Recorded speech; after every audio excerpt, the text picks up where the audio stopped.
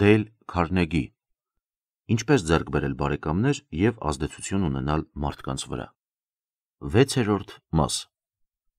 7 կանոն, որոնց կատարումը թույլ է տալիս ձեր ընտանեկան կյանքը դարձնել ավելի երջանիկ։ Գլուխ առաջին. Սեփական ամուսնական երջանկության համար գերեզման փորելու ամենաարագ միջոցը։ 75 տարի առաջ ֆրանսիական կայսր Նապոլեոն III-ը, Նապոլեոն Բոնապարտի զարմիկը, սիրահարվեց աշխարհի ամենագեղեցիկ կնոջը, Տեբայի կոմսուհուն, Եվգենիա Մարիա Իգնասիա Ավգուստինա դը Մոնտիխոին եւ ամուսնացավ նրա հետ։ Կայսեր խորհրդատուները պնդում էին, որ նա ընդամենը դուստրն է բոլորովին անհայտ մի իսպանական կոմսի, սակայն Նապոլեոնն առարկեց. բայց դա ինչ նշանակություն ունի։ Նրա նրբագեղությունը, երիտասարդությունը, հմայքը Նապոլեոնին համակեցին աննկարագրելի երջանկությամբ։ Իր ելույթներից մեկում նա մարտահրավեր նետեց ամբողջ Ֆրանսիային։ Ես նախընտրել եմ մի կնոջ, որին սիրում եւ հարգում եմ, քան կնոջ, որն ինձ անծանոթ է։ Նապոլեոնն ու կինը ունեին առողջություն, հարստություն, իշխանություն, փառք, գեղեցկություն, սեր, փոխադարձ պաշտամունք, իդեալական ամուսնության համար անհրաժեշտ ամեն ինչ։ Դեռևս երբեք ամուսնական սուրբ կրակն այդքան պայծառ չէր բոցավառվել։ Բայց ավաղ սուրբ կրակը շուտով սկսեց մարել եւ հանգչել, ջերմությունը պակասեց, իրենից թողնելով միայն մարմանդ վառվող ածուխներ։ Նապոլեոնը կարողացավ Եվգենիային դարձնել կայսրուհի, բայց չքնաղ Ֆրանսիայում ոչ նրա սիրո ուժը, ոչ նրա գահի հզորությունը չկարողացան նրան ստիպել փոխել իր բնավորությունը։ Խանդից եւ կասկածներից տանջվելով նա արհամարում էր Նապոլեոնի հրամանները, թույլ չէր տալիս նրան նույնիսկ առանձնանալ, ներխուժում էր նրա առանձնասենյակ, երբ վերջինս պետական գործերով էր զբաղված, ընդհատում էր նրա կարևորագույն բանակցությունները, նրան երբեք մենակ չէր թողնում, վախենալով, որ կարող է մտերմանալ ուրիշ կնոջ հետ։ Նա հաճախ էր վազում քրոջ մոտ եւ գանգատվում ամուսնուց, դժգոհում էր, արտասվում, մշտմշտում եւ սպառնում Ներխուժելով ամուսնու առանձնասենյակ, գոռում էր վրան ու վիրավորում վերջինիս։ Նապոլեոնը, Ֆրանսիայի կայսրը, որն ուներ մի տասնյակի չափ հրաշալի դղյակներ, չէր կարողանում առանձնանալու համար մի անկյուն գտնել։ Բայց այդ ամենով ինչի հասավ Եվգենիան։ Ահա թե ինչի։ Ես մեջբերում եմ կատարում Ե.Ա. Ռայնհարթի Նապոլեոն եւ Եվգենիա մի կայսրության տրագի կոմեդիան հրապուրիչ գրքից։ Այսպիսով բանն այնտեղ հասավ, որ փափուկ գլխարկն աչքերին իջեցրած Նապոլեոնը հաճախ գիշերը Բոբիկ դուրս էր գալիս ետնամուտքից իր ամենամտերիմ բարեկամներից մեկի ուղեկցությամբ։ Նա իրականում գնում էր իրեն սпасող որևէ չքնախ կնոջ մոտ կամ էլ ինչպես անցած գնացած ժամանակներում պարզապես թափառում էր քաղաքում երազելով զբոսնել այնպիսի փողոցներով, որոնց մասին կայսրերը միայն գրքերում են կարդում։ Ահա թե ինչի հասավ Եվգենիան իր մանրախնդրությամբ։ Ճիշտ է, նա բազմած էր Ֆրանսիայի գահին, ճիշտ է, նա աշխարհի ամենագեղեցիկ կինն էր, սակայն ոչ կայսերական տիտղոսը, ոչ գեղեցկությունը չեն կարող մանրախնդրության թունոտ շնչահեղձության մեջ սերն անձեռնամխելի պահել։ Եվգենիան կարող էր, ինչպես մի ժամանակ Աստվածաշնչյան հոբը, դառնորեն բացականչել. Այն երկյուղալի բանից, որ վախենում էի, ինձ հանդիպեց։ Նրան հանդիպեց։ Նա, Այդ խեղճ կինն ինքն իր վզին փաթաթեց դա իր խանդով ու մանրախնդրությամբ։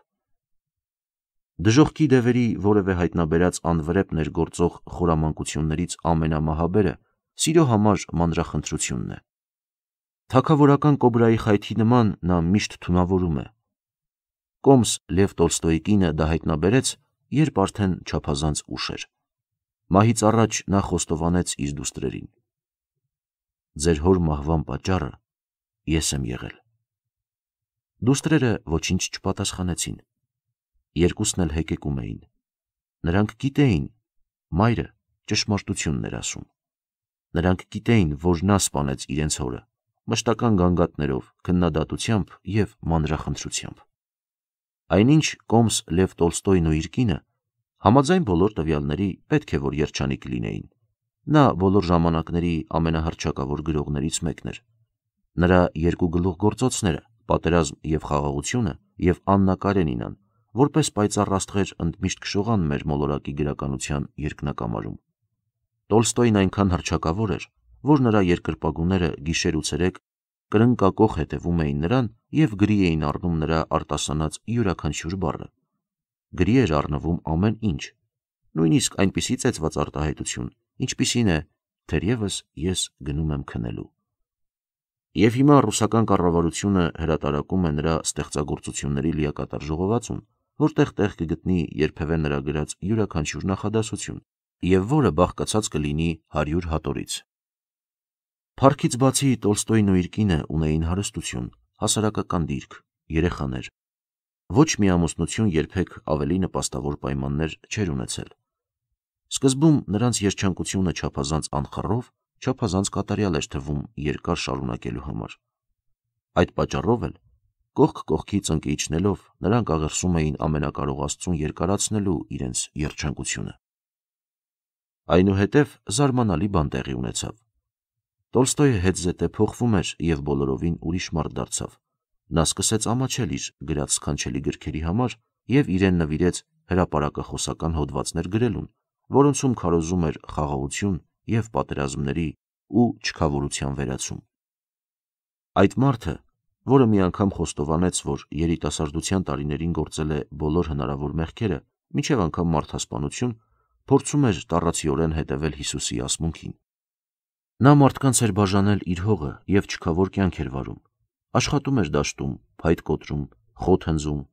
ինքն իր համար կոշիկ կարում, ավլում իր սենյակը, ուտում փայտե ամանով ու փորձում սիրել իր թշնամիներին։ Լև Տոլստոյի կյանքը ողբերգություն էր եւ այդ ողբերգության պատճառը նրա ամուսնությունն էր։ Նրա կինը սիրում էր շքեղություն, իսկ ինքը ատում էր։ Կինը ծարավի էր փառքի եւ մեծարանքի, իսկ իր համար այդ ունայն բաները ոչ մի արժեք չունեին։ Կինը ձգտում էր դրամի եւ հարստության, իսկ Տոլստոյը համարում էր, որ հարստությունն ու սեփականություն ունենալը մեղք է։ Երկար տարիների ընթացքում կինը հանգիստ չէր տալիս, կշտամբում եւ միջադեպեր էր սարքում, քանի որ գրողը պնդում էր, որ հրատարակիչներին իրավունք կտա տպելու իր գործերը առանց որևէ հոնորար վճարելու, իսկ կինը ցանկանում էր դրամ ստանալ նրա գրքերի համար։ Երբ նա հակառակվում էր, կինը հիստերիայի մեջ էր ընկնում։ Օփյումի սրվակը բերանի մոտ պահած թավալվում էր հատակին երթվելով, որ կյանքին վերջ կտա եւ սպառնալով, որ կնետվի ջրհորը։ Նրանց կյանքի մի դրվագն ինձ ներկայանում է որպես մարդկության պատմության թերևս ամենահուզիչ տեսարանը։ Ինչպես արդեն նշել եմ, նրանք չափազանց երջանիկ էին, երբ ամուսնացան, բայց այժմ 48 տարի անց նա հազիվ էր կարողանում հանդուրժել կնոջը։ Երբեմն երեկոյան այդ ծեր վշտաբեկ կինը, որ ծարավի էր հոգեկան ջերմության, ծունկի էր իջնում ամուսնու առջև եւ խնդրում էր բարձրաձայն կարդալ 50 տարի առաջ օրագրում իրեն նվիրված սիրով լեցուն հմայիչ տողերը։ Եվ նրանք երկուսն էլ արտասվում էին, երբ Տոլստոյը կարդում էր այդ սքանչելի, երջանիկ ընդմիշտ գնացած օրերի մասին։ Ինչպես էր տարբերվում։ Ինչ խստորեն էր տարբերվում իրական կյանքը նրանց երբեմնի ռոմանտիկ անուրջներից։ Եվ վերջապես, երբ Տոլստոյն 82 տարեկան էր, այլևս չկարողացավ տանել իր ընտանեկան կյանքի ողբերգությունները։ Այդ պատճառով էլ 1910 թվականի հոկտեմբերյան մի ձնառատ գիշեր փախչում էր իր կնոջից։ Փախչում էր դեպի ցուրտն ու խավարը, չիմանալով թե ուր է գնում։ 11 օր անց Տոլստոյը մահացավ փոքրիկ երկաթուղային կայարանում թոքերի բորբոքումից, եւ նրա վերջին կամքն էր իր կնոջը իր մոտ չթաղել։ Այսպիսին էր գինը, որ վճարեց Կոմսուհի Տոլստայան իր մանրախնդրության, բողոքների եւ հիստերիայի համար։ Հնարավոր է ընթերցողը կգտնի, որ դժգոհության համար նա բավարար հիմքեր ուներ, համաձայն եմ։ Սակայն դա գործին չի վերաբերում։ Հարցը հետեւյալն էր. օգնեց արդյոք նրան մանրախնդրությունը թե անհուսալիորեն վատացրեց առանց այդ էլ ծանր դրությունը։ Ես իսկապես մտածում եմ, որ խենթ էի։ Այդպիսի եզրակացության հանգեց Կոմսուհի Տոլստայան, երբ արդեն չափազանց ուշ էր։ Աբ รา համ Լինքոլնի կյանքում նույնպես ամուսնությունը մեծ ողբերգություն էր։ Հաշվի առեք, ոչ թե նրա սպանությունը, այլ ամուսնությունը։ Բութի կրակոցից հետո Լինկոլնը չհասցրեց հասկանալ, որ իրեն սպանել են, բայց 23 տարի շարունակ գրեթե ամեն օր հնձում էր այն, ինչը նրա զուգընկեր իրավաբան Հերնդոնը նկարագրել է որպես ամուսնական դժբախտության դառը պտուղներ։ Ամուսնական դժբախտություն դա չափազանց մեղմ է ասված։ Մոտ քառորդ դար Միսիս Լինկոլնը ամուսնու հոգին հանում էր։ Նա անverջ դժգոհություններ էր հայտնում, անընդհատ քննադատում էր ամուսնուն։ Կնոջ կարծիքով նրա մոտ ամեն ինչ այնպես չէր, ինչպես պետք էր։ Նա կուզը դուրս էր ցցում եւ քայլում էր անճորնի ձևով։ Ոտքերը փոխելիս հնդկացիների նման ծնկները չէր ծալում։ Կինը դժգոհում էր, որ նրա քայլվածքը չունի առածկականություն։ Շարժումները նրբագեղություն։ Նա նմանակում էր ամուսնու պահելաձևը եւ պահանջում, որ քայլելիս նախ ոտնաթաթերը դնի գետնին, ինչպես սովորեցրել էին իրեն Լիքսինգտոնում տիկին Մանտելի գիշերօթիկ դպրոցում։ Կնոջը դուր չէր գալիս, որ նրա հսկայական ականջները ցցված էին գլխի նկատմամբ ուղիղ անկյան տակ։ Նա նույնիսկ հանդիմանում էր այն բանի համար, որ քիթն ուղիղ չէր, իսկ ներքևի շրթունքը դուրս էր ցցված, որ նա թոքախտով հիվանդի տեսք ուներ, որ ձեռքերն ու ոտքերը չափազանց մեծ էին, իսկ գլուխը չափազանց փոքր։ Աբ รา համ Լինկոլնը եւ Մերի Թոդ Լինկոլնը հակադրություններ էին բոլոր առումներով։ Դաստիարակությամբ, ծագումով, խառնվածքով, հակումներով եւ աշխարհայացքով։ Նրանք մշտապես գրգռում էին մեկ-մեկու։ Հանգուցյալ սենատոր Ալբերտ Ջ. Բևիրիջը մեր սերնդի այդ ամենաաչքի ընկնող Լինկոլնագետը գրում էր. Միսիս Լինկոլնի ուժեղ ականջ ծակող ձայնը կարելի էր լսել փողոցի մյուս կողմում։ Իսկ նրա զայրույթի չհանդարտվող բռնկումների մասին գիտեին բոլորը, ովքեր բնակվում էին մոտակայքում։ Հաճախ նրա զայրույթն արտահայտվում էր ոչ միայն խոսքերով։ Նրա խելահեղ արարքների մասին մեզ են հասել միանգամայն ստույգ բազմաթիվ պատմություններ։ Ահա նման դեպքերից մեկը։ Հարսանիքից անմիջապես հետո Լինկոլնը եւ իր կինը հաստատվեցին Սփրինֆիլդում միսիս Ջեկոբ Էժլիի բժշկի այրու մոտ որը ստիպված էր կենվորներ պահել։ Մի անգամ առավոտյան, երբ միստր եւ միսիս Լինկոլները նախաճաշում էին, Լինկոլնը ինչ որ բան արեց, որը խիստ գրգռեց կնոջը։ Թե ինչ արեց նա, հիմա ոչ ոք չի կարող իմանալ։ Սակայն միսիս Լինկոլնը կատաղության մոլուցքով բռնված ամուսնու երեսին շփեց գավաթի տակ սուրճը, եւ դա կատարվեց ուրիշ կենվորների ներկայությամբ։ Լինկոլնը նրան ոչինչ չասաց, Նա նվաստացած եւ լուռ նստած էր, մինչև Միսիս Էժլին թաց սրբիչով մաքրում էր նրա դեմքն ու հագուստը։ Միսիս Լինկոլնի խանդն այնքան խելացնոր էր, այնքան կատաղի եւ անհավանական,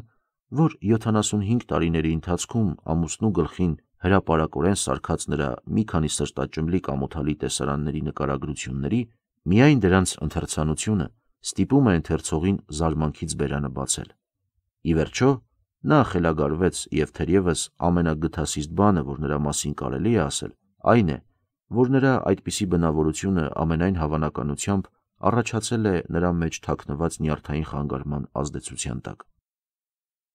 Փոխեցին արդյոք Լինկոլնին կնոջ այդ բոլոր մանրախնդրությունները, կշտամբանքները եւ կատաղի արարքները։ Մի առումով այո, փոխեցին։ Նրանք որոշակիորեն փոխեցին նրա զգացմունքները կնոջ հանդեպ Դրանք ստիպեցին Լինկոլնին զղջալ իր դժբախտ ամուսնության համար եւ հնարավորին չափ խուսափել կնոջ ներկայությունից։ Սփրիթֆիլդում ապրում էին 11 փաստաբաններ եւ այնտեղ աշխատանքը բոլորին չէր բավականացնում։ Այդ պատճառով էլ նրանք սովորաբար հետևելով դատավոր Դեվիդ Դասին կոմսության զանազան բնակավայրերում դատական նիստերին մասնակցելու համար ձիերով գնում էին մեկ այս, մեկ այն քաղաքը։ Այսպիսով Նրանց հաջողվում էր աշխատանք ճարել 8-րդ դատական շրջանի տեղական բոլոր դատարաններում։ Որոշ փաստաբաններ միշտ հնար էին գտնում ամեն շաբաթօր Սփրիթֆիլդ վերադառնալու եւ հանգստյան օրերն ընտանիքի հետ անցկացնելու։ Սակայն Լինկոլն այդ չէր անում։ Նա վախենում էր տուն գալ եւ գարնան ու աշնան երեքական ամիսների ընթացքում գտնվում էր շրջագայությունների մեջ, երբեք չմոտենալով Սփրիթֆիլդին։ Նա այդպես էր վարվում տարեց տարի։ Հաճախ գավառական հյուրանոցներում բնակության պայմանները շատ վատն էին, սակայն այդ ամենով հանդերձ նա նախընտրում էր ամենաանհարմարությունները կրել, քան ապրել սեփական տանը, ենթարկվելով միսիս Լինկոլնի կողմից մշտական կշտամբանքների եւ նրա զայրույթի անզուսպ բռնկումներին։ Այսպիսին են արդյունքները, որոնց հասան միսիս Լինկոլնը, կայսրուհի Եվգենիան եւ կոմսուհի Տոլստայան ամուսինների նկատմամբ իրենց վերաբերմունքով։ Այդպիսի վարքը կյանքում նրանց բերեց միայն ողբերգության և կործանեց այն, ինչը նրանց համար ամենից թանկն էր։ Բեսի Համբուրգերը, որը 11 տարի աշխատել է Նյույորքյան դատարանում ընտանեկան հարաբերությունների գործերով և քննության է ենթարկել ամուսինների տնից հեռանալու հազարավոր դեպքեր, ասում է, որ գլխավոր պատճառներից մեկը կանանց կշտամբանքներն են։ Կամ ինչպես գրում է Boston Post լրագիրը, կանանցից միայն մեկը չէ, որ գերեզման է փորել սեփական ամուսնական երջանկության համար, հետզհետե այն ավելի խորացնելով։ Այսպիսով, եթե ցանկանում եք պահպանել ձեր ընտանեկան կյանքի երջանկությունը, հետևեք առաջին կանոնին. պետք չէ, պետք չէ կշտամբել։ Գլուխ երկրորդ. Սիրիր և թույլ տուր ուրիշին ապրել։ Դիզրայելին ասել է. Հնարավոր է, որ կյանքում շատ սխալներ թույլ տամ, բայց երբեք սիրելով չեմ ամուսնանա։ Նա այդպես էլ վարվեց։ Ամուրի մնաց մինչև 35 տարեկան հասակը, իսկ հետո առաջարկություն արեց իրենից 15 տարով մեծ մի հարուստ այրու, մի այրու, որի մազերը ճերմակել էին նրա 50 ձմեռների ընթացքում։ Նա գիտեր, որ Դիզրայելին իր հետ ամուսնացել է փողերի համար, այդ պատճառով էլ վերջինիս առջև մի պայման դրեց։ Նա ամուսնուն խնդրեց սպասել մեկ տարի, որպիսի իրեն հնարավորություն տա ուսումնասիրելու նրա բնավորությունը, և միայն ժամկետի վերջում ամուսնացավ նրա հետ։ Բավական շահադիտական, բավական չարչիական է հնչում, այնպես չէ։ Այնուամենայնիվ, որքան էլ դա տարօրինակ է, ամուսինների տարեգրություններում, որտեղ այնքան ճղճիմ, կեղտոտ պատմություններ կան, Դիզրայելի ամուսնությունը ամենափայլուն հաջողություններից մեկը եղավ։ Հարուստ այրին, որի վրա ընկավ Դիզրայելի ընտրությունը, բոլորովին էլ աչքի չէր ընկնում ոչ երիտասարդությամբ, ոչ գեղեցկությամբ, ոչ էլ փայլուն խելքով։ Խոսելիս ծիծաղաշարժ սխալներ էր թույլ տալիս, որոնք վկայում էին գրականության և պատմության բնագավառում նրա ծայրահեղ տգիտության մասին։ Օրինակ, նա չգիտեր, թե ովքեր են առաջինը ի հայտ եկել՝ հռոմեացիները, թե հույները։ Նա անճաշակ արթուզարդի հարցում շատ արտասովոր էր, իսկ տան կահավորման մասին նրա պատկերացումը տարօրինակ։ Սակայն նա հանճար էր, իսկական հանճար այն բնագավառում, որն ամուսնության մեջ ամենակարևորն է՝ տղամարդկանց հետ վարվելու արվեստում։ Նա չէր փորձում իր մտավոր կարողությունները հակադրել Դիզրայելի մտավոր կարողություններին։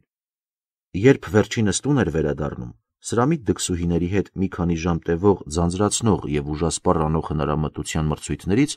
Մերի Էնիի թեթևամիտ շաղակրատությունը նրան թույլ էր տալիս թուլանալ։ Տունը,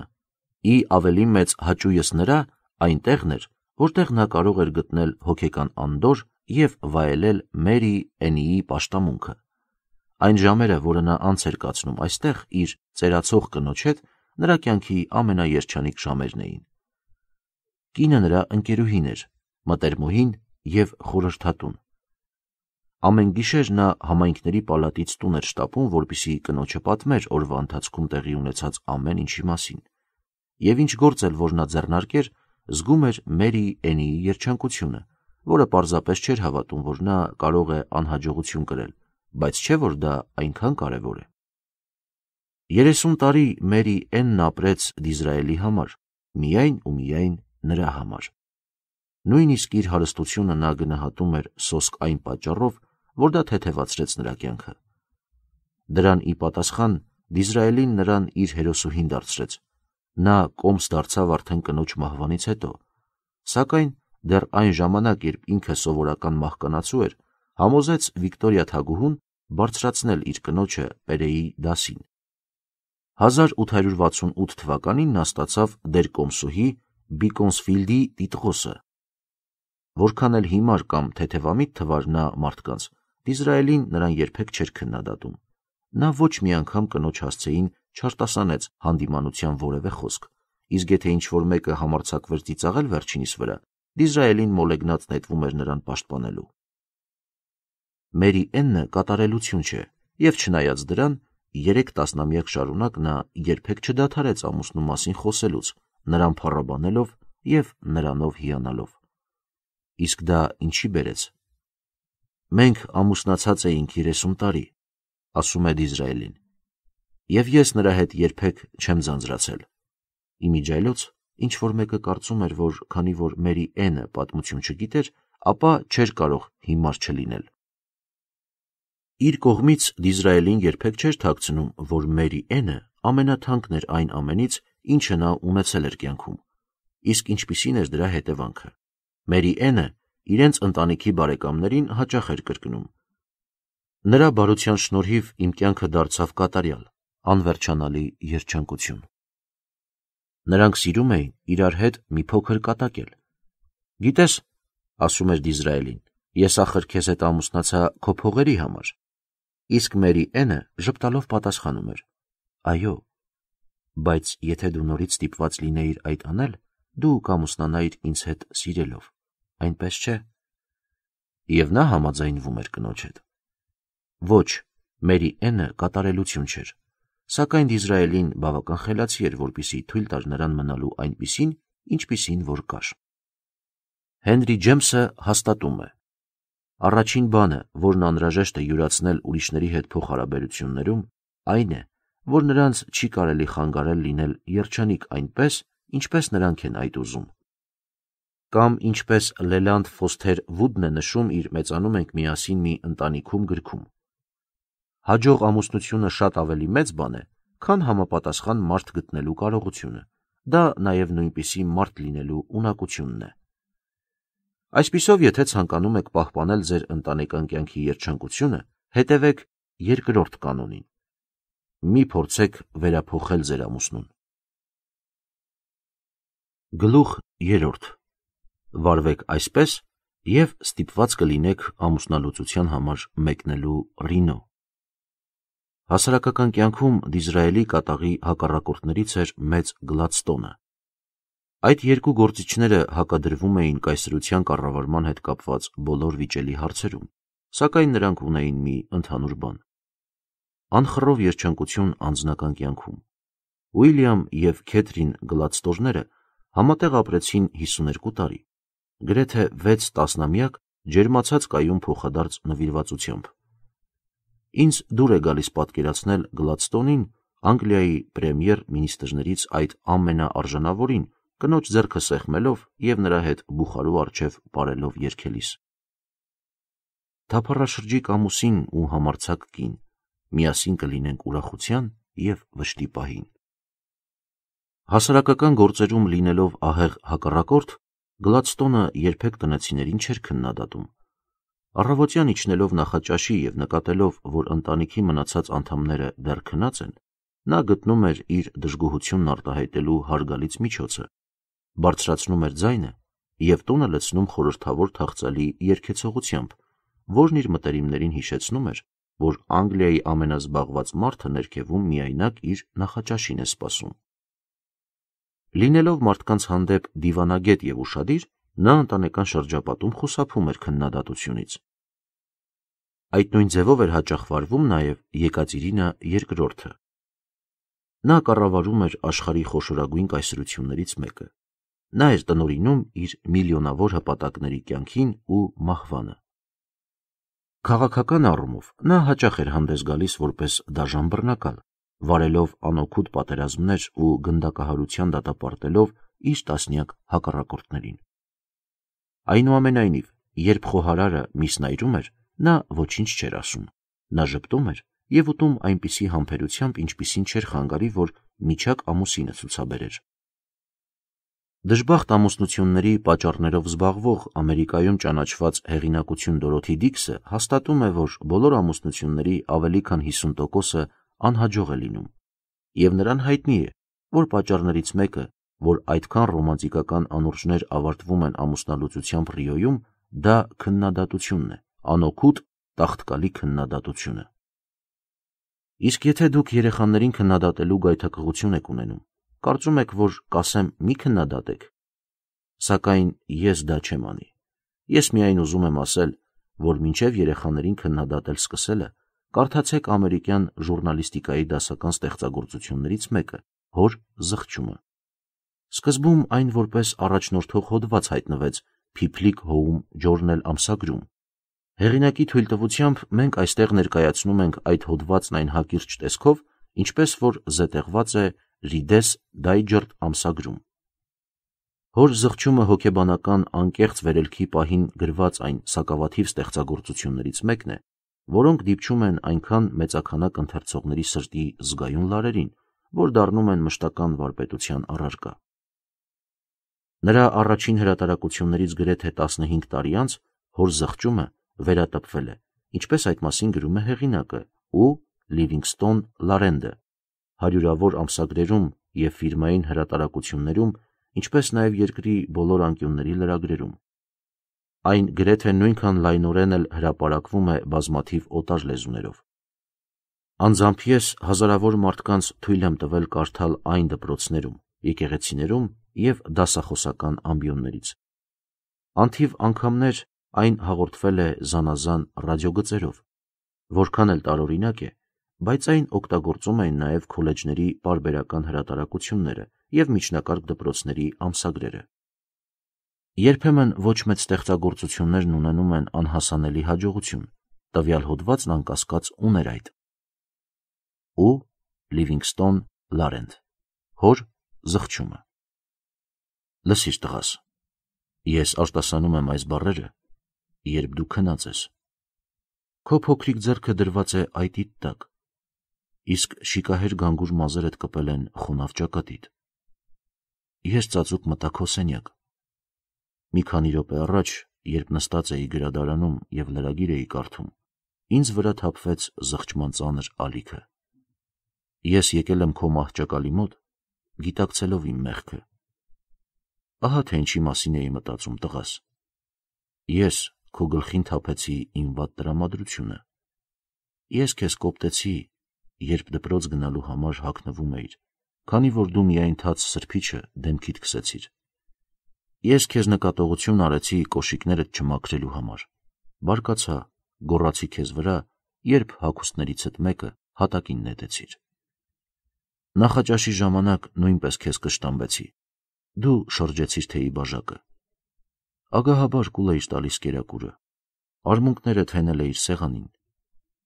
Չափազանց հաստ շերտով կարակ քսեցիր հացին, իսկ հետո, երբ գնացիր խաղալու, իսկ ես շտապում էի հասնել գնացքին, դու շրջվեցիր, ինձ ձեռքով արեցիր եւ բացականչեցիր. «Ցտեսություն, հայրիկ»։ Իսկ ես հոնքերս կիտեցի եւ պատասխանեցի. «Ուսերդ ուղիր»։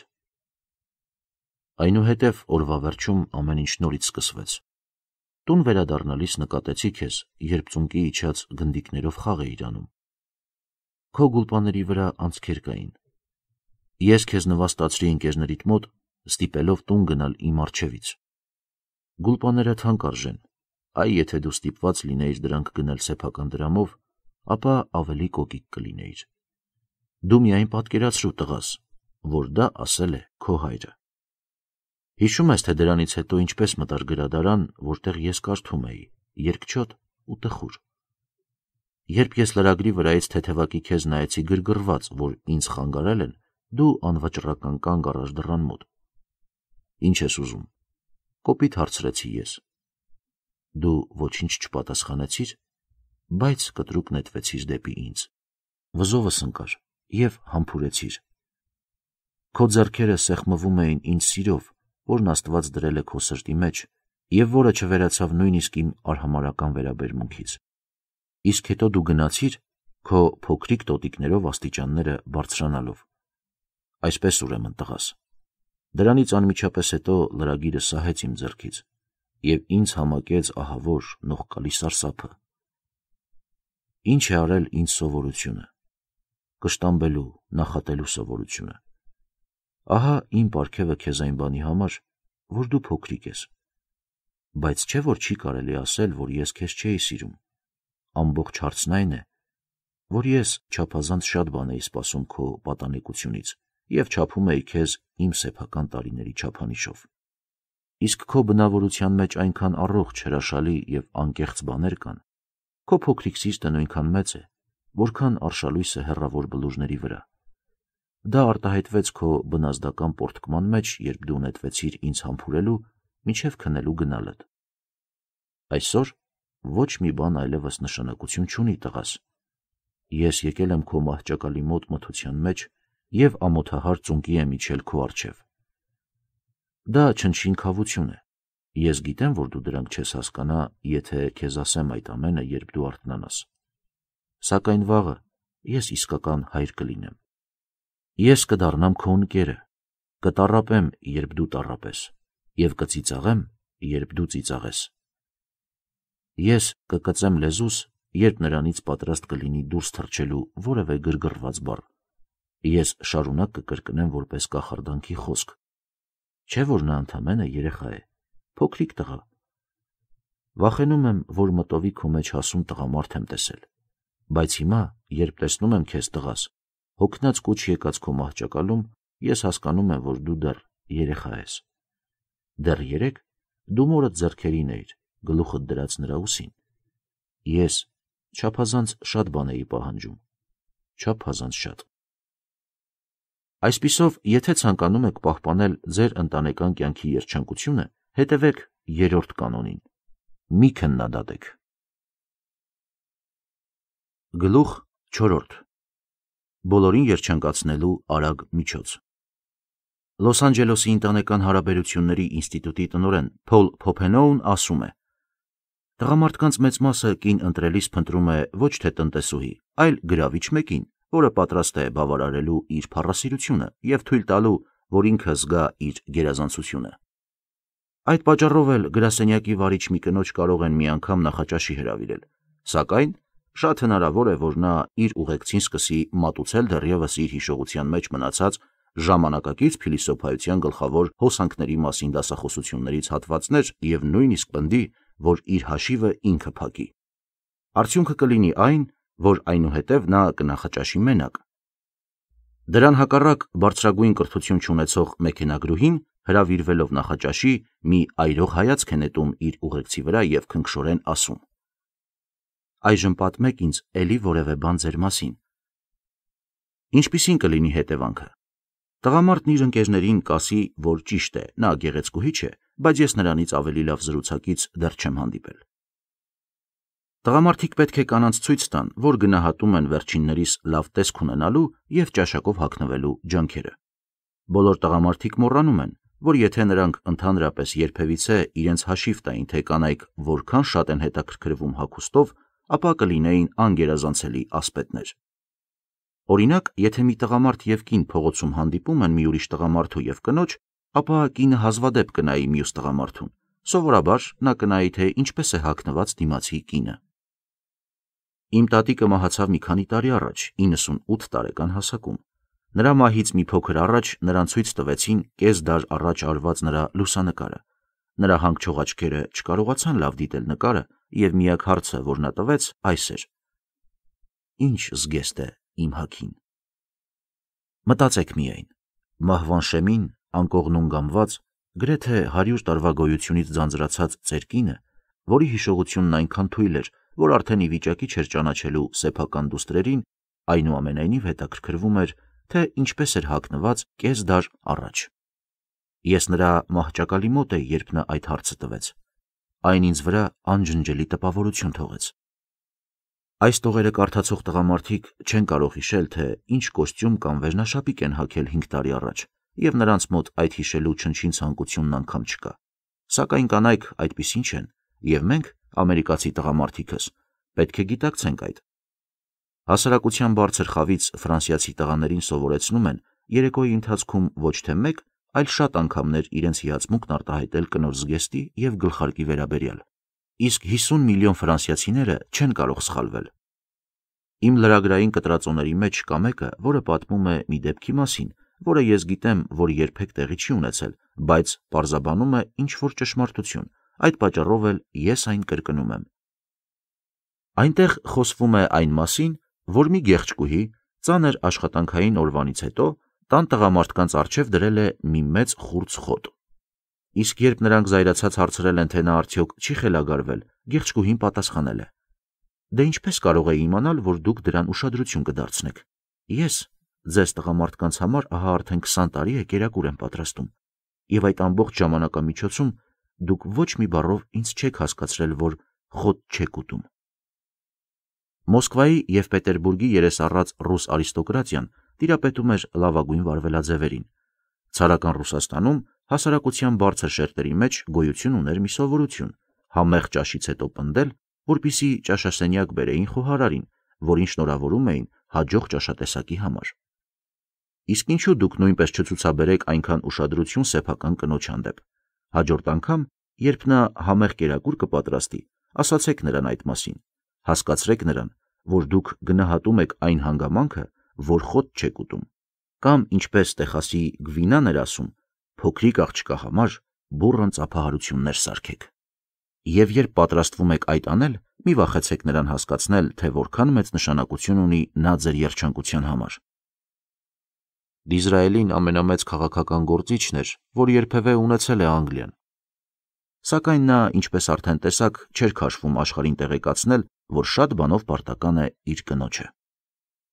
Օրերս մի ամսագիր աչքի անցկացնելիս իմ ուշադրությունը գրավեց Էդի Քանթորի հետ հարցազրույցի հետևյալ հատվածը։ Ես իմ կնոջը պարտական եմ ավելի, քան աշխարհում մեկ ուրիշի, ասում է Էդի Քանթորը։ Նա իմ ամենալավ ընկերն էր, երբ ես տղա էի։ Նա ինձ օգնեց գնալ ճիշտ ուղիով։ Իսկ մեր ամուսնությունից հետո նա խնայում էր յուրաքանչյուր դոլարը, կրկին ու կրկին դրանք ներդնելով գործի մեջ։ Նա ինձ համար կարողություն կուտակեց։ Մենք ունեինք 5 հիանալի երեխաներ, եւ նա միշտ ինձ համար ստեղծել է հրաշալի ընտանեկան հարմարավետություն։ Եթե ես ինչ-որ բան եմ դարձել, ապա դա վերագրեք նրան։ Հոլիվուդում, որտեղ ամուսնությունը համարվում է այնպիսի մի ռիսկ, որին չէր գնա նույնիսկ Լյոյլդի լոնդոնյան ապահովագրական ընկերությունը, փոքրատիվ երջանիկ ամուսնություններից մեկը Բաքսթեր զույգի ամուսնությունն էր։ Միսիս Բաքսթերը անցյալում Ուինֆերդ Բրայսոնը ամուսնանալով հրաժարվեց փայլուն դերասանական կարիերայից, սակայն երբեք թույլ չտվեց, որ իր այդ զոհողությունը մթագներ նրանց երջանկությունը։ Նա զրկվեց բեմական հաջողությունների համարձափահարություններից, ասում է Warner Baxter-ը, բայց ես ջանում էի հոգալ, որ նա լիովին վստահ լինի իմ ծափահարություններում։ Եթե կնոջն ընդհանրապես բախտ է վիճակված իր ամուսնու մեջ երջանկություն գտնել, ապա նա պետք է գտնի այդ երջանկությունը ամուսնու երախտագիտության եւ կապվածության մեջ։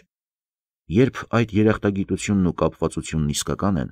նրանք նաև վերջինիս երջանկության գրավականն են դառնում։ Այ այսպես։ Այդ պատճառով էլ, եթե ցանկանում եք պահպանել ձեր ընտանեկան կյանքի երջանկությունը, ապա հետևեք 4-րդ կանոնին, որն ամենակարևորներից մեկն է։ Հայտնեք մեկ-մեկու ձեր անկեղծ երախտագիտությունը։ Գլուխ 5-րդ Կնոջ համար դա այնքան մեծ նշանակություն ունի,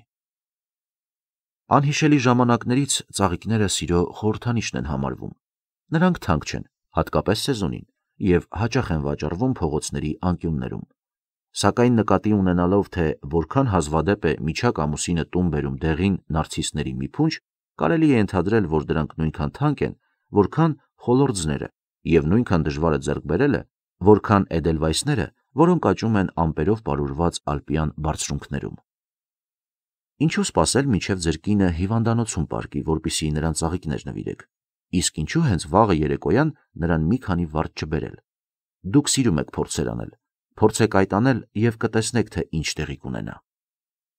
Չնայած իր խիստ զբաղվածությանը Բրոդվեյում Ջորջ Մ. Քոենը սովորաբար օրը երկու անգամ զանգահարում էր մորը, ընդཐུպ միջև նրա մահը, Կարծում եք նա ամեն անգամ որևէ ցնցող նորություն էր ունենում մորը հաղորդելու։ Ոչ, Այդ ուշադրության փոքրիկ նշանների իմաստն այն էր, որ դրանք ձեր սիրելի մարդուն ցույց են տալիս, որ դուք մտածում եք նրա մասին, ցանկանում եք նրան հաճույք պատճառել, եւ նրա երջանկությունն ու բարեկեցությունը ձեր սրտին թանկ են ու մոտ։ Կանայք հսկայական նշանակություն են տալիս տարեթվերին, ծննդյան օրերին եւ տարեդարձներին, իսկ թե հատկապես ինչու, դա միշտ մնում է որպես կանանց գաղտնիքներից մեկը։ Միջակ մարդը կարող է ապրել մի կյանք, չհիշելով բազմաթիվ տարեթվեր, բայց նրանցից մի քանիսն անհրաժեշտ է անպայման հիշել։ Դրանք են 1492 թվականը, 1776 թվականը, կնոջ ծննդյան օրը, հարսանիքի տարին եւ օրը։ Ծայրահեղ դեպքում նա կարող է բավարարվել նույնիսկ առանց առաջին երկու տարեթվերի, բայց ոչ առանց վերջինների։ Չիկագոյի դատավոր Ժոզեֆ Սաբաթը, որը քննել է 40 հազար ամուսնական վեճեր և հաշտեցրել 2000 ամուսնական զույգերի, ասում է. Ամուսնական գժտությունների հիմքում մեծ մասամբ մանրուքներ են ընկած։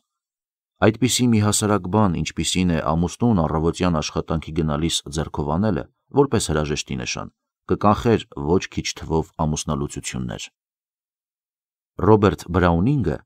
որի համատեղ կյանքը Էլիզաբեթ Բարեթ Բրաունինգի հետ գուցե մեզ հայտնիներից ամենահովերգականն էր, որքան էլ որ զբաղված լիներ, կարողանում էր պահպանել սերը ոչ մեծ նվերներով եւ ուշադրության նշաններով։ Նա այնքան հոգատար էր իր հիվանդ կնոջ նկատմամբ, որ վերջինս մի անգամ գրեց իր քույրերին. Եվ հիմա ես բնականաբար սկսում եմ խորհել ի վերջո, միգուցե ես իսկապես հրեշտակ եմ։ Չափազանց շատ տղամարդիկ թերագնահատում են այդ առօրյա ոչ մեծ ուշադրության նշանները։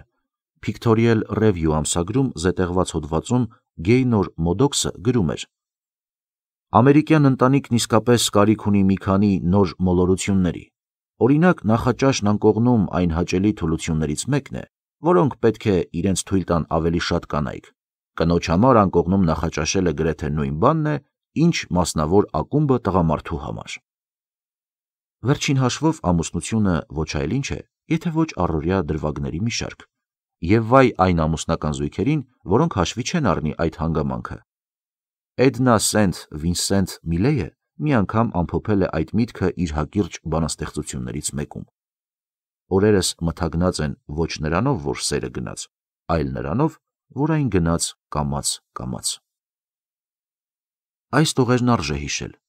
Ռինոյում դատավորներն ամուսնալուծում են մարդկանց շաբաթվա մեջ 6 օրը, ընդ որում լուծվում է յուրաքանչյուր 10 ամուսնությունից մեկը։ Ձեր կարծիքով այդ ամուսնություններից քանիսն են կործանվել իսկական ողբերգության հետևանքով։ Երաշխավորում եմ, որ շատ քչերը, եթե դուք կարողանայիք այնտեղ ներկա լինել, օրեցօր լսելով այդ դժվար ամուսինների եւ կանանց ցուցմունքները, կհասկանայիք, որ նրանց մոտ սերը կամաց-կամաց է գնացել։ Այժմ հանեք ձեր գրչահատը եւ կտրեք հետեւյալ մեջբերումը. Սոսնձեք այն ձեր գլխարկի ներսի մասում կամ հայլուն, որտեղ դուք այն կտեսնեք ամեն առավոտ սափրվելիս։ Այդ ուղիով ես գնալու եմ միայն մեկ անգամ։ Ուրեմն թող որ արդեն հիմա կատարեմ որևէ արժանավոր արարք կամ բարություն ցուցաբերեմ որևէ մեկի հանդեպ։ Թող որ չհետաձգեմ եւ այդ անելու առիթը բաց չթողնեմ, քանզի այդ ուղիով ես այլևս երբեք չեմ գնալու։ Այսպիսով, եթե ցանկանում եք պահպանել ձեր ընտանեկան կյանքի երջանկությունը, կատարեք 5-րդ կանոնը։ Ցուցաբերեք միմյանց հանդեպ ուշադրության ոչ մեծ նշաններ։ Գլուխ 6-րդ Եթե ցանկանում եք երջանիկ լինել, մի արհամարեք այս կանոնը։ Ուոլտեր Դամրոշն ամուսնացավ ամերիկյան մեծագույն հռետորներից մեկի՝ Ջեյմս Ջ. Բլեյնի որը ժամանակին եղել է պրեզիդենտության թեկնածու դստեր հետ։ Այն ժամանակից սկսած, երբ նրանք երկար տարիներ առաջ հանդիպեցին Շոտլանդիայում, Էնդրյու Քարնեգիի տանը, դոմրաշների կյանքը շատ երջանիկ էր։ Որն է նրանց գաղտնիքը։ Ամուսին ընտրելու զգուշավորության հետ միևնույն շարքում ասում է Միսիս Դամրոշը. Ես դասում եմ քաղաքավարի վերաբերմունքը հարսանիքից հետո։ Եթե միայն երիտասարդ կանայք այնքան քաղաքավարի լինեին իրենց ամուսինների հետ, որքան որ քաղաքավարի են կողմնակի մարդկանց հետ։ Ցանկացած տղամարդ կփախչի կռվարար կնոջից։ Կոպտությունը այն քաղցկեղային ուռուցքն է, որը քայքայում է սերը։ Յուրաքանչյուր ոք գիտի այս մասին, եւ չնայած դրան բոլորին հայտնի է, որ մենք օտարների հետ վարվում ենք ավելի քաղաքավարի, քան մեր մերձավորների հետ։ Մենք մտքով անգամ չենք անցկացնի կողմնակի մարդուն ընդհատել եւ բացականչել, Օ, Աստված իմ, միթե դուք պատրաստվում եք նորից պատմել այդ հին պատմությունը։ Նույնիսկ չենք փորձի մտածել առանց թույլտվության մեր բարեկամների նամակները բացելու կամ էլ մեր քիթը նրանց անձնական գաղտնիքների մեջ խոթելու մասին։ Եվ միայն մեր ընտանիքի անդամներին, այսինքն մեր մերձավոր եւ ամենաթանկ մարդկանց ենք համարցակվում վիրավորել չնչին վրիպումների համար։ Կրկին անգամ Դորոթի Դիքսին եմ մեջբերում։ Ապշեցուցիչ է, բայց փաստ է, որ միակ մարդիկ, որ մեզ տհաճ, վիրավորող եւ ցավ պատճառող բաներ են ասում, դրանք մեր տնեցիներն են։ Հենրի Քլեյ Ռիզները հաստատում է. Քաղաքավարությունը հոգու այնպիսի որակ է, որի արկայությամբ չեն նկատում կոտրված դռնակը, այլ ուշադրություն են դարձնում դռնակից այն կողմ բակում գտնվող ծաղիկներին։ Քաղաքավարի վերաբերմունքը նույնքան կարևոր է ամուսնության համար, որքան յուղը շարժիչի։ Ընթերցողների հավանությանն արժանացած առավոտյան նախաճաշի ինքնակալ միապետի կերպարի ստեղծող գրող Օլիվեր Ուենդել Համուսը ամեն ինչ է, միայն ոչ ինքնակալ միապետ սեփական տանը։ Նա այնքան սիրալիր եւ զուսպ էր, որ ընկնելով մռայլ եւ ճնշված վիճակի մեջ, ջանում էր թաքցնել իր մելամաղձությունը ընտանիքի մյուս անդամներից։ Նա բացատրում էր, որ իրեն բավական ծանր է զգում այդպիսի վիճակում, որpիսի ստիպեր, որ դրանից տառապեն նաեւ մյուսները։ Այդպես էր վարվում Օլիվեր Հուենդելը, իսկ ինչ կարելի է ասել հասարակ մահկանացուների մասին։ Վատ են գործերը ծառայության մեջ։ Նա ձեռքից բաց է թողել գործարքը կամ տիրոջից նկատողություն է ստացել։ Նրա գլուխը սաստիկ ցավում է կամ ուշացել է 17-ից 15-ի մեկնող գնացքից, եւ նա շտապում է տուն վերադառնալ, որպիսի զայրույթը թափի ընտանիքի վրա։ Հոլանդիայում տուն մտնելուց առաջ կոշիկները թողնում են շեմին։ Երդվում եմ, լավ կլիներ, որ սովորեինք հոլանդացիներից եւ տուն մտնելուց առաջ մեր վրայից թոթափեինք ցերեկային ծառայողական հոգսերը։ Ուիլյամ Ջեյմսը ինչ որ ժամանակ մի էսե է գրել, որն անվանել է մարդկային կուրության ինչ որ մի տեսակի մասին։ Արժե հատուկ գնալ մոտակա գրադարան այն վերցնելու եւ կարդալու համար։ Ջեյմսը գրում է. Այսպիսով մարդկային կուրությունը, որի մասին կխոսվի այս տրակտատում, դա այն կուրությունն է, որով մենք վարակված ենք մեզ գերազանցող կենթանի արարածների եւ մարդկանց հանդեպ։ Մարդկային կուրություն, որով մենք վարակված ենք, Շատերը, որոնք նույնիսկ մտքով չեն անցկացնի կտրուկ խոսել հաճախորդի կամ հատկապես իրենց գործընկերների հետ, չեն երկմտի կնոջ վրա գոռալուց առաջ։ Այնինչ իրենց անձնական երջանկության համար ամուսնական բարեկեցությունը շատ ավելի կարևոր է եւ էական, քան իրենց գործնական հարաբերությունները։ Ամուսնության մեջ երջանիկ շարքային մարդը շատ ավելի երջանիկ է մենության մեջ ապրող հանճարից։ Ռուս մեծ գրող Տուրգենևը ճանաչված էր ողջ քաղաքակիրթ աշխարհում։ Այնուամենայնիվ նա ասել է, որ կհրաժարվեր իր տաղանդից եւ բոլոր գրքերից, եթե միայն որևէ տեղ մի կին անհանգստանար իր ճաշից ուշանալու համար։ Ի վերջո, որքան են ամուսնության մեջ երջանկություն ձեռք բերելու հնարավորությունները։ Ինչպես արդեն ասել ենք, Դորոթի Դիքսը գտնում է, որ ամուսնությունների կեսից ավելին անհաջող են լինում։ Սակայն դոկտոր Փոլ Փոփեյուն այլ կերպ է մտածում։ Նա ասում է. Մարդն ունի ամուսնության մեջ հաջողության հասնելու ավելի լավ հնարավորություններ, քան ցանկացած այլ ձեռնարկման մեջ, որ նա կարող է սկսել։ Նպարեղենի վաճառքով զբաղվող մարդկանց 70%-ը անհաջողություն է կրում, իսկ ամուսնացող տղամարդկանց եւ կանանց 70%-ը հաջողության է հասնում։ Դորոթի Դիքսն այս ամենը ամփոփում է այսպես. Ամուսնության հետ համեմատած նկատում է նա. ծնունդը միայն դրված է մեր կյանքում, իսկ մահը սովորական դեպք։ Ոչ մի կին երբեք չի հասկանա, թե ինչու տղամարդը նույնպիսի ջանքեր չի գործադրում ընտանեկան կյանքը կարգավորելու համար, ինչպիսին որ գործադրում է իր գործում կամ մասնագիտության մեջ հաջողության հասնելու համար։ Սակայն չնայած գողկինը եւ խաղաղ, երջանիկ ընտանեկան կյանքը մարդու համար ավելին արժեն, քան միլիոն դոլարը։ Հարյուրավոր տղամարդկանցից ոչ մեկը երբեք իսկապես լրջորեն չի մտորում այն մասին, թե ինչպես ապահովի իր ամուսնության հաջողությունը եւ դրա համար իրական ջանքեր չի գործադրում։ Նա իր կյանքում ամենակարևոր բանը թողնում է բախտի կմահաճույքին եւ շահում կամ տանուլ է տալիս կախված այն բանից, թե հանգամանքներն իր համար ինչպես կդասավորվեն։ Կանայք երբեք չեն կարողանում հասկանալ, թե իրենց ամուսիններն ինչու չեն կարող իրենց հետ դիվանագիտորեն վարվել, բայց չէ որ նրանց շատ ավելի շահավետ է օգտվել թավշյա ձեռնոցի մեթոդից, քան գործել կոպիտ ձեռքերով։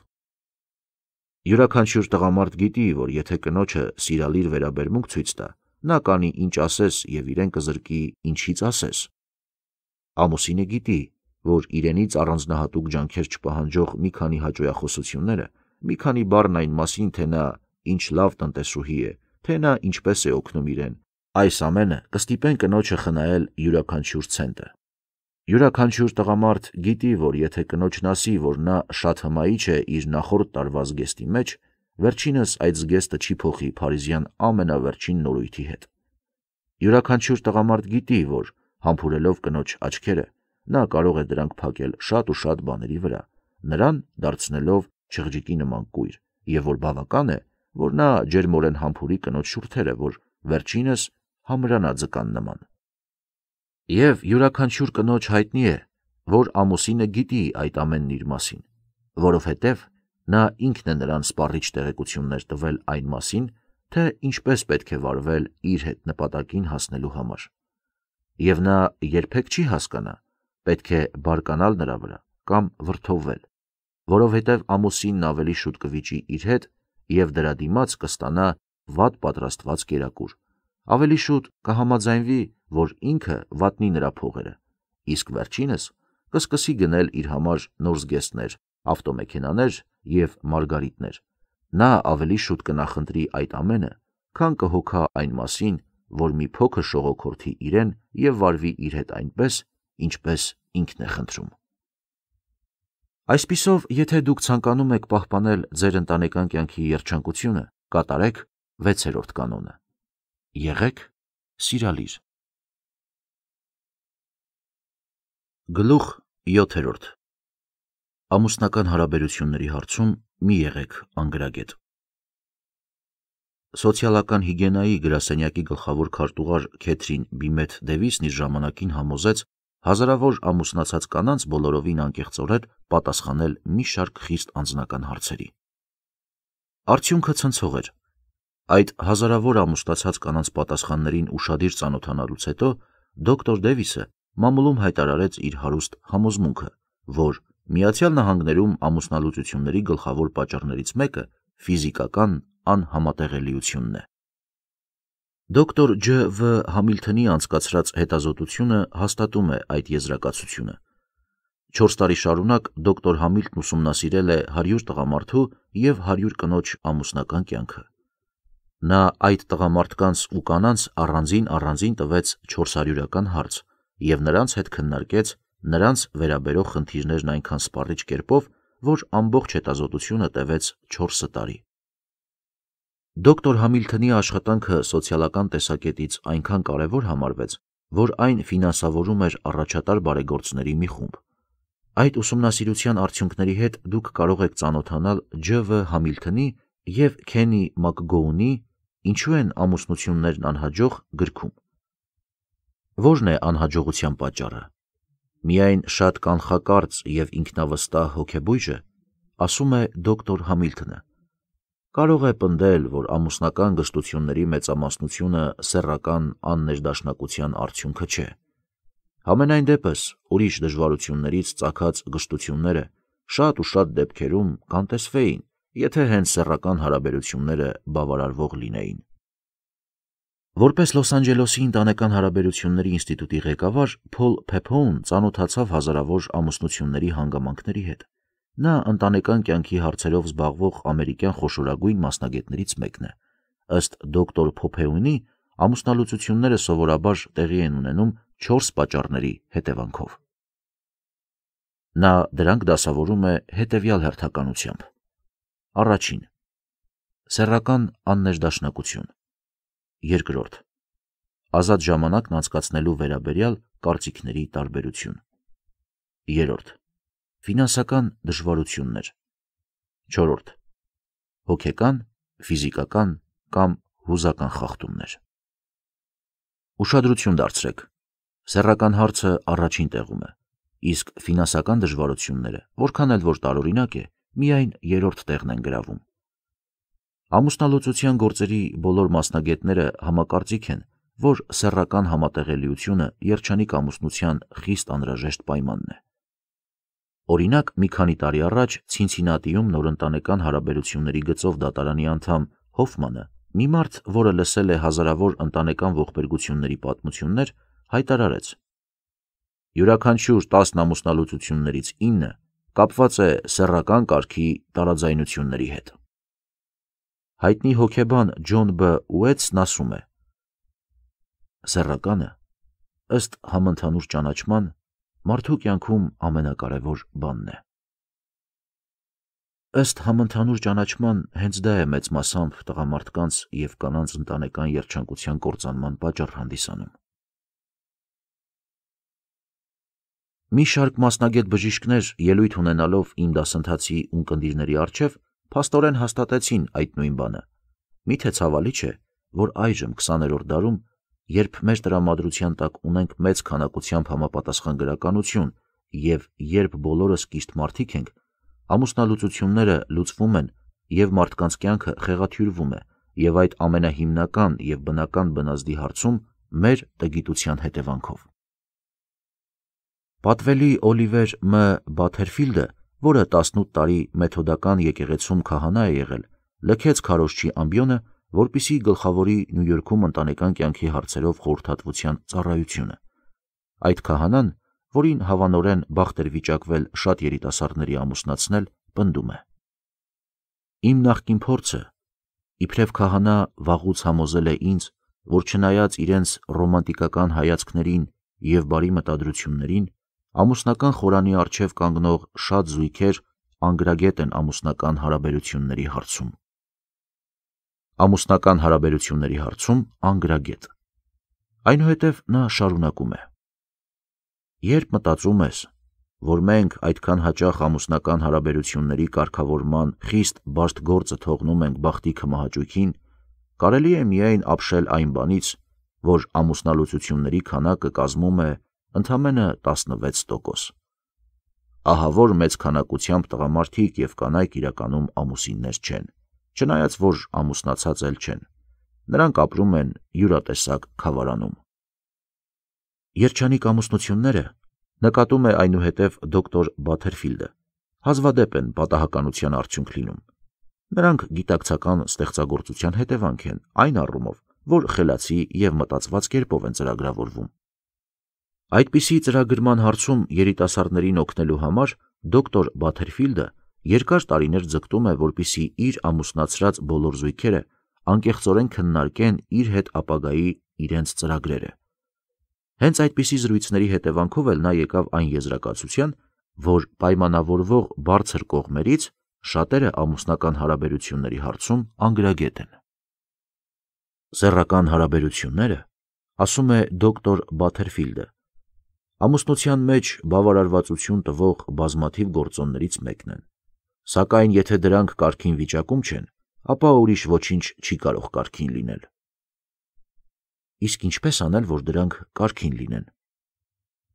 Սենտիմենտալ լռության տեղը ես շարունակում եմ մեջբերել դոկտոր Բաթերֆիլդին։ Պետք է զբաղեցնի կողմերի ամուսնական կյանքի եւ նրանում իրենց վարկագծի վերաբերյալ հարցերի անկանխակալ եւ սառնասիրտ քննարկման կարողությունը։ Այդպիսի կարողություն ձեռք բերելու լավագույն միջոցը տվյալ թեմայով լրջորեն եւ պատշաճ կերպով գրված գրքերի ընթերցանությունն է։ Ես միշտ իլրումն իմ ամուսնություն եւ սեռական ներդաշնակություն բրոշուրի ձեռքի տակ եմ պահում այդպիսի գրքերի մի ամբողջ շարք։ Ինձ թվում է, որ նման կարգի մեզ մատչելի բոլոր գրքերից ընթերցողների լայն շրջաններին ավելի են համապատասխանում հետևյալ երեքը. Իզաբել Հաթնի ամուսնությունների սեռական հարաբերությունները, Մաքս Էքսների ամուսնական կյանքի սեռական կողմը եւ Էլենա Ռայթի Սեռականի գործոնը ամուսնության մեջ գրքերը։ Սեռական կյանքի մասին իմանալ գրքերից, իսկ ինչու ոչ։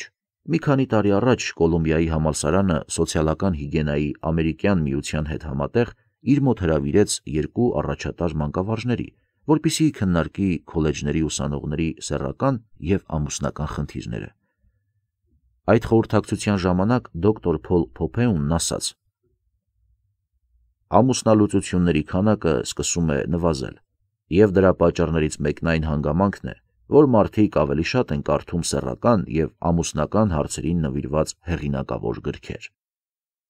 Այդ պատճառով ես անկեղծորեն ենթադրում եմ, որ իրավունք չունեն վերջացնելու այս մասը առանց ներկայացնելու այդ լուրջ խնդիրը բացեի բաց եւ գիտակցական հիմնավորման պլուսաբանող գրքերի հետեւյալ ցուցակը։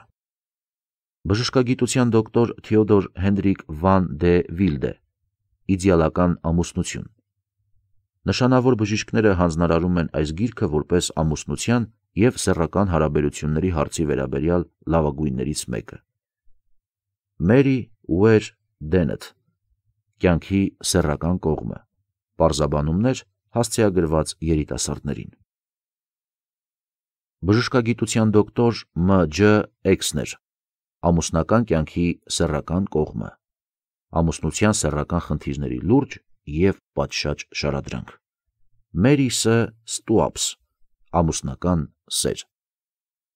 Գրքում բացեիբաց քննարկվում են ամուսնական հարաբերությունները։ Էրնեստ Ռ. Գրոուվս, Գլեդիս Հ. Գրոուվս Սեռական ամուսնական հարաբերություններում Գիրքը պարունակում է տվյալ հարցի վերաբերյալ ընդարձակ տեղեկություն։ Էրնեստ Ռ. Գրոուվս Նախապատրաստություն ամուսնությանը American Magazine ամսագիրը 1933 թվականի հունիսյան համարում հրապարակեց Էմետ Քրոզերի «Ինչու են ամուսնությունները լուծվում» հոդվածը։ Ստորև ներկայացնում եմ այդ հոդվածից փոխառնված հարցաթերթիկ։ Հարկավոր է, որ դուք նպատակահարմար գտնեք պատասխանել այդ հարցերին, տասական միավոր նշանակելով ձեզ այն դեպքում, երբ կարող եք դրական պատասխան տալ։ Ամուսինների համար Առաջին. Շարունակում եք արդյոք սիրատածել ձեր կնոջը։ Արդյոք ժամանակ առ ժամանակ նրան ծաղիկներ նվիրում եք։ Հիշում եք արդյոք նրա ծննդյան օրը եւ ձեր հարսանիքի տարեդարձը։ Ցուցաբերում եք արդյոք նրա հանդեպ ուշադրության անսպասելի նշաններ։ Դրսևորում եք արդյոք անակնկալ քնքշություն։ Երկրորդ. Արդյոք միշտ եք խուսափում քննադատել նրան կողմնակի մարդկանց ներկայությամբ։ Երորդ Տնտեսությունը վարելու համար նախատեսված դրամից բացի արդյոք նրան դրամ տալիս եք, որպիսի նա կարողանա դրանք ծախսել սեփական հայեցողությամբ։ 4. Փորձում եք արդյոք հասկանալ կանանց հատուկ բնավորության փոփոխությունները նրանց մոտ եւ օգնել նրան հոգնածության, նյարդայնության եւ գրգռվածության պահերին։ 5. Արդյոք ձեր կնոջ հետ անց եք կացնում ձեր ազատ ժամանակի թեկուզ եւ կեսը։ 6. Արդյոք բավականաչափ տակտ ունեք, որպիսի ձեզ զսպեք եւ չհամեմատեք ձեր կնոջ խոհարարական եւ տնտեսուհու շնորհքները ձեր մոր կամ ինչ որ մի Բիլ Ջոնսի կնոջ նույն այդ շնորհքների հետ, եթե միայն նման համեմատությունը ձեր կնոջ օգտին չէ։ 7. Ցուցաբերում եք արդյոք ակնհայտ հետաքրքրություն նրա հոգևոր կյանքի, նրա ակումբների եւ շրջապատի հանդեպ, այն գրքերի հանդեպ, որոնք նա կարդում է եւ հասարակական խնդիրների վերաբերյալ նրա հայացքների հանդեպ։ 8. Ընթունակ եք արդյոք առանց խանդի նշաններ ցուցաբերելու նրան թույլ տալ, որ բարի եւ ընդունի ուշադրության բարեկամական նշաններ ուրիշ տղամարդկանցից։ 9. Գործադրում եք արդյոք նրան գովելու եւ ձեր հիացմունքն արտահայտելու յուրաքանչյուր հնարավորություն։ 10. Արդյոք շնորհակալություն հայտնում եք նրան այն փոքրիկ ծառայությունների համար, որ նա ցուցաբերում է ձեր հանդեպ, օրինակ, կոճակներ կարելու, գուլպաների նորոգման եւ ձեր հագուստը մաքրման ուղարկելու համար։ Կանանց համար